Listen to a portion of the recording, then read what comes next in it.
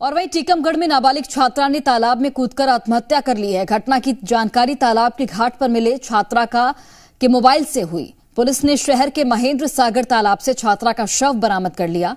सत्रह साल की छात्रा बारहवीं की छात्रा थी। वहीं पुलिस ने शव को कब्जे में लेकर मामले की छानबीन शुरू कर दी है।